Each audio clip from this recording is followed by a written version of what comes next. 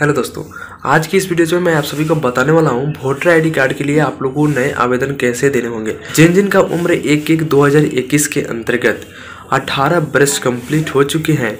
वह आवेदन दे सकते हैं। ऑनलाइन आवेदन करने की प्रक्रिया जो है, कुछ डिफरेंट कर दिया गया है, जो मैंने पिछली वीडियोज़ में भाई आप सभी को बताया था, उससे थोड़ा हटकर अब अप्लाई करना है। वो भी मोबाइल फ़ोन से, वहीं सेम एप्लीकेशन लेकिन आवेदन करने की कुछ प्रक्रिया जो है, अलग कर दी गई है। वही मेथड में आप सभी को समझाने वाला हूँ और ऑनलाइन आवेदन करके लास्ट तक दिखाने वाला हूँ। शो गाइज़ मेरा नाम है पिंटू कुमार शर्मा। स्वागत है आप सभी का हमारे इस चैनल टेक ज्ञान पिंटू यूट्यूब चैनल पर। तो चलिए आज का वीडियो शुरू करते हैं। तो तो नए वोटर कार्ड के लिए अप्लाई करने के लिए आपको अपने प्ले स्टोर में आना है। आप अपने मोबाइल का इंटरनेट ओपन करेंगे, जैसे कि डेटा होता है उसे ओपन करेंगे और यहाँ पर आने के बाद में आपको सर्च करना होगा voter helpline voter helpline search करेंगे, उसके बाद में ये वाला एप्लीकेशन आपको देखने को मिलेगा, इस पर एक बार टच करेंगे और ये वाला एप्लीकेशन आपका ओपन हो जाएगा। यहीं से हम लोग जो है नए वोटर कार्ड के लिए जो है अप्लाई करेंगे, इसके लिए हमें इंस्टॉल बटन जो लिखा हुआ है, इस पर आपको क्लिक कर देना है। जो सोलह एम की फ़ाइल है, जो काफ़ी कम जगह आपकी स्टोरेज में छेकती है, और इसे अप्लाई करने के बाद में यहीं से आप अपनी स्टेटस देख पाएँगे अपने वोटर कार्ड के लिए। पंद्रह दशमलव नौ आठ एम की फ़ाइल है, देख सकते हैं, और डाउनलोडिंग भी हो रही है। रेटिंग की बात करें तो फोर पॉइंट वन की इस एप्लीकेशन की रेटिंग है, चलिए डाउनलोड होने के बाद में हम लोग सिंपल से इसे ओपन करेंगे हो चुका है इंस्टॉलिंग हो रहा है, उसके बाद में हम लोग ओपन करेंगे। आप, यहाँ पर आपका इंस्टॉल और ओपन का ऑप्शन आता है तो सिंपल से हम लोग को ओपन बॉक्स पर क्लिक करना है। ओपन पर क्लिक करने के बाद में एप्लीकेशन पूरी तरह से ओपन हो जाता है। कुछ इस तरीके से आप देख सकते हैं। न्यू वर्जन अवेलेबल है प्ले स्टोर पर फिर से हम लोग चलेंगे। और उसके बाद में इन्हें हम लोग प्ले स्टोर में ओपन करेंगे। कुछ इस तरीके से आपको एरर देखने को भी आएगा तो इंस्टॉल करने के बाद में हमें इसे अपडेट करना भी होगा। तो चलिए हम लोग इसे फिर से अपडेट भी कर लेते हैं। बिल्कुल मैं आपको शुरू से हर एक चीज़ स्टेप बाय स्टेप मैं समझाने वाला हूँ। जो भी नए हैं वोटर आई कार्ड के लिए कभी अप्लाई नहीं किए हैं और जिनका कभी वोटर आईडी कार्ड बना नहीं है, वो इस प्रोसेस को अपनाएँगे और अपने वोटर आईडी कार्ड को ऑनलाइन आवेदन दे करके बनवा सकते हैं, वो चाहे किसी भी स्टेट से हो। सारी स्टेट के लिए एक ही सुविधा है वोटर हेल्पलाइन यहाँ से आकर के आप मोबाइल फ़ोन से ऑनलाइन आवेदन दे सकते हैं। चलिए इंस्टॉलिंग हो रहा है। इंस्टॉलिंग होने के बाद में हम लोग फिर से ओपन करेंगे। ओपन करने के बाद में आपकी बार कोई एरर आपको देखने को नहीं मिलेगा। वोटर हेल्पलाइन में हम लोग आ चुके हैं। उसके बाद में यहाँ पर नीचे आएँगे कंसेंट देंगे, यानी आई एग्री पर टिक करना है। उसके बाद में आपको नेक्स्ट बटन पर क्लिक करना है। उसके बाद में यहाँ पर mobile number and password login करने के लिए पूछता है। इसे आप स्किप कर सकते हैं। स्किप लॉगिन पर क्लिक करना है। नए वोटर कार्ड के लिए अप्लाई करने के लिए जो यहाँ पर फॉर्म से जो लिखा हुआ है, इस पर आपको क्लिक करना होगा। सबसे ऊपर आपको मिलता है अप्लाई ऑनलाइन न्यू इस पर आपको क्लिक करना है। न्यू वोटर रजिस्ट्रेशन और observe voter registration new voter registration पर हमें क्लिक करना होगा। यहाँ पर जो भी एप्लीकेंट है, यानी जो आवेदन दे रहे हैं, उनका अपना नाम देखना होगा। जो भी उनका नेम है कुछ इस तरीक़े से वे अपना नाम यहाँ पर दर्ज करेंगे, उसके बाद में ओके करेंगे। ओके करने के बाद में यहाँ पर आप, आपका पर्सनल डिटेल्स यानी वोटर मित्रा में आपका नेम जो है रजिस्टर्ड हो चुका है। लेट्स स्टार्ट पर आपको क्लिक करना होगा। लेस्ट स्टार्ट पर क्लिक करने के बाद यहाँ बोला जा रहा है यस पर टिक लगा हुआ होगा। यानी कि आप फ़र्स्ट टाइम जो है अपने वोटर कार्ड के लिए अप्लाई कर रहे हैं उसके बाद में नेक्स्ट करना होगा। यहाँ पर सिटीजनशिप पूछा जा रहा है कि आप इंडियन के सिटीजन होने चाहिए यानी कि इंडिया में पैदा होने चाहिए और इंडियन सिटीजन आपके होने चाहिए। नेक्स्ट करना होगा।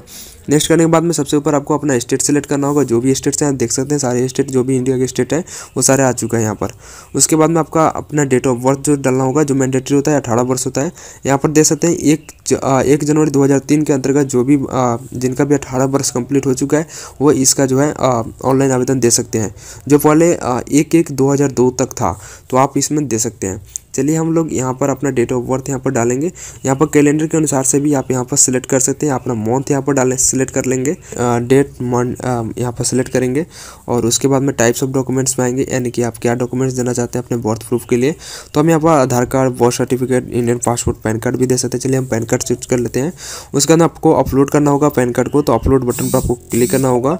अपलोड बटन पर क्लिक करने के बाद में यहाँ पर परमिशन को अलाउ करने होंगे। अलाउ करने के बाद में यहाँ पर अपनी लोकेशन को क्लिक करना होगा। फाइल्स में हम लोग आएँगे। फाइल्स में आने के बाद में आपने जहाँ पर भी उस डॉक्यूमेंट्स को रखा हुआ है, वहाँ से उसे ले लेंगे। यहाँ पर मैंने अपने डॉक्यूमेंट्स को रखा हुआ है तो हम यहाँ पर पैन कार्ड को लेंगे और इसे आप यहाँ से क्रॉप कर सकते उसके बाद में सिंपल से आपको क्रॉप जो लिखा हुआ है, इस पर आपको क्लिक करना है और उसके बाद में आप यहाँ पर देख सकते हैं, आपका पैन कार्ड आ चुका है अटैच हो चुका है। उसके बाद में आपको नेक्स्ट बटन पर क्लिक करना होगा।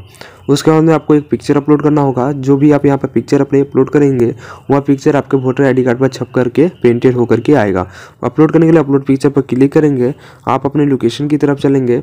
लोकेशन की तरफ़ आने के बाद में आपने जहाँ पर भी उस पिक को रखी हुई है, उस पिक को यहाँ पर आने के बाद में क्लिक करेंगे।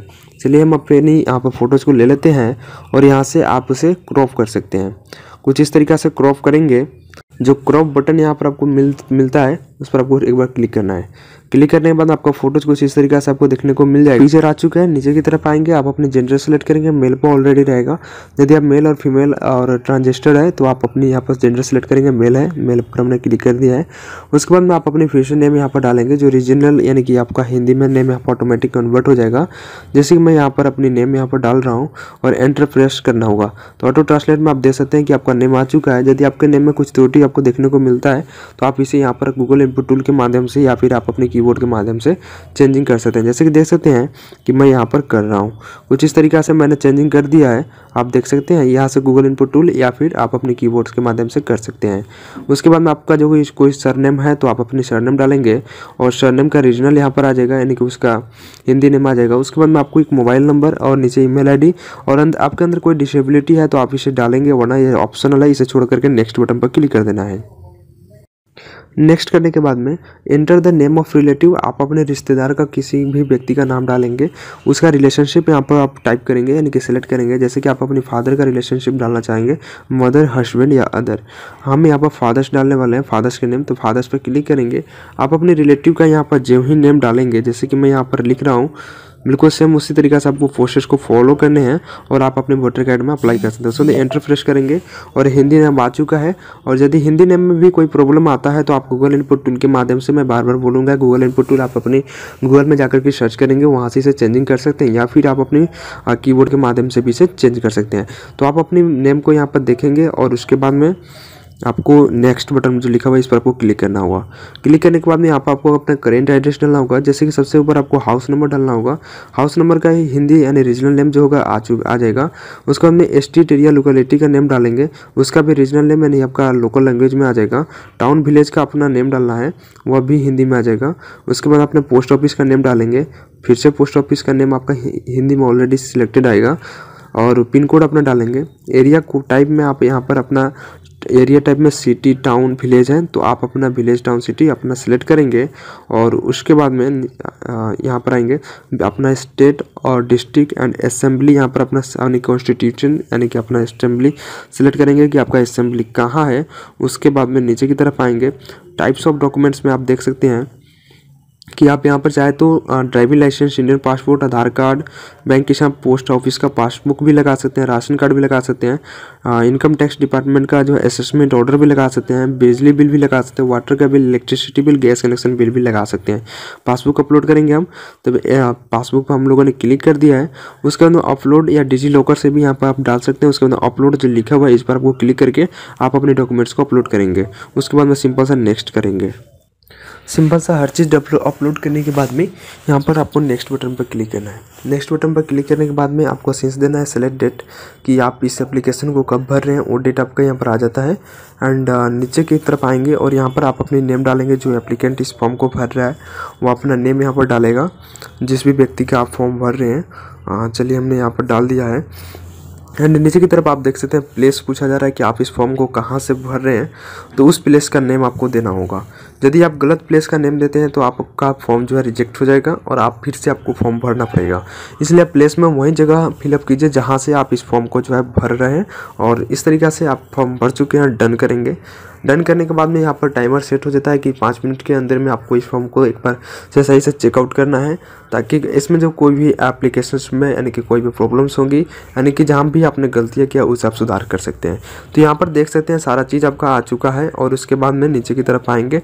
यदि आपको लगता है कि ये सब चीज़ें सही है तो उसके बाद आपको कन्फर्म पर क्लिक करना है। देख सकते हैं, यहाँ पर जो आपका रेफरेंस आई जो है जनरेट कर दिया गया है। इस रेफरेंस आईडी को आपको यहाँ से कॉपी करना है। चलिए हम यहाँ से इसे कॉपी कर लेते हैं। डबल टैप आप करेंगे, उसके बाद वो कॉपी कर लेंगे। इस इस रेफरेंस आईडी के द्वारा ही आप जो है अपनी एप्लीकेशन आईडी को ट्रैक कर पाएँगे कि आपका एप्लीकेशन आईडी रिजेक्ट हुआ या एक्सेप्ट हुआ, या फिर अभी बिल अपॉइंट हुआ या नहीं हुआ। चलिए मैं आपको स्टेटस चेक करके भी दिखा दे रहा हूँ। इसका चाहे तो आप एक स्क्रीन आप अपने मोबाइल में सेव करके रख सकते हैं। सिंपल से आपको ओके करना होगा। ओके करने के बाद में नंबर में आपको यहाँ पर एक्सप्लोर नंबर दिखेगा। आप आएँगे यहाँ पर और नीचे की तरफ़ आप आएँगे। पर आपको मिलेगा स्टेटस ऑफ़ एप्लीकेशंस का ऑप्शन वोटर सर्विसेज़ में, ठीक है? यदि आपको नहीं मिलता है तो आप वोटर सर्विसेज़ जो लिखा हुआ है इस पर आपको एक बार टैप करना होगा और स्टेटस ऑफ़ एप्लीकेशन जो लिखा हुआ है इस पर आपको क्लिक करना होगा। उसके बाद में आप अपने रेफरेंस आईडी को यहाँ पर पेस्ट करेंगे, जो भी आपने रेफरेंस आईडी वहाँ से कॉपी किया है। पेस्ट करने के बाद में आपको यहाँ पर मिलेगा ट्रैक स्टेटस इस पर आपको क्लिक कर देना होगा। या आपके रेफरेंस आईडी को फैच कर लेगा और उसके बाद में आपका स्टेटस शो हो जाएगा। देखते हैं आपका स्टेटस जो है आ चुका है, आपका first name and last name यहाँ पर आपको मिल जाएगा। स्टेट आपको मिल जाएगा, आपका असेंबली क्या है वो मिल जाएगा। फॉर्म टाइप आपने फॉर्म सिक्स भरा है। और ट्रैकिंग स्टेटस है जो आपका आज का डेट मिल जाएगा। आज के डेट में यह सबमिट हो चुका है। आप देख सकते हैं ग्रीन टिक लगा हुआ है राइट का निशान भी लगा हुआ है। इसके बाद में इसे बी एल अपॉइंट किया जाएगा। उसके बाद में इसे फ़ील्ड वेरिफिकेशन किया जाएगा। उसके बाद में यह तय किया जाएगा कि आपका फॉर्म को एक्सेप्ट हो रहा है या रिजेक्ट हो रहा है। आप यहीं से आकर के चेक कर सकते हैं।